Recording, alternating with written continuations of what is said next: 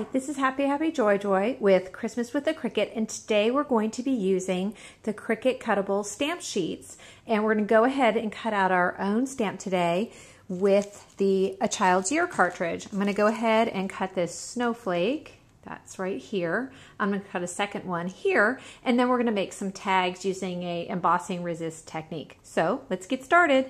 My first step was to go ahead and mount the stamp sheet material on a brand new pad. This is brand new mat here.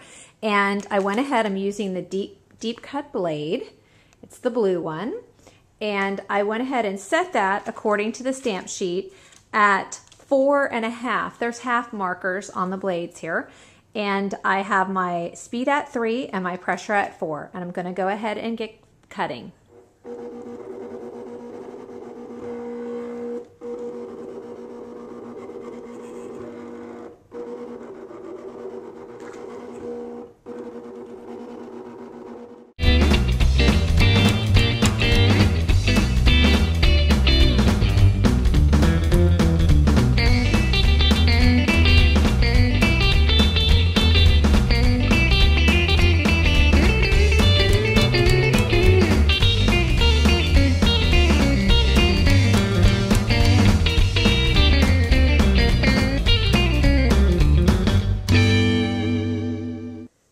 Okay, here is my large stamp and I went ahead and was practicing stamping on some scratch paper and then inking around the edges. And I had embossed this so I could go ahead and ink around the edges and wipe some of that down.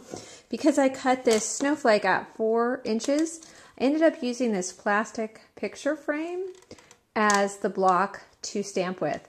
Now, these stamps, it's kind of hard for you to see. These stamps are very thin, very, very thin. And so it really helps feel have something you can press down on pretty good. And so this kind of worked out pretty well for me. So my final tag I made was this kind of snowflake collage on some Core'dinations blue paper. And I just went ahead and stamped and then um, used some white embossing powder and ran that with the heat tool. And that's what you got. So an unusual looking tag. This tag was cut at five inches. I know it's enormous. I'm not sure how this happened, but um, just turned out real pretty. And I love how I was able to get a lot of these snowflakes on here.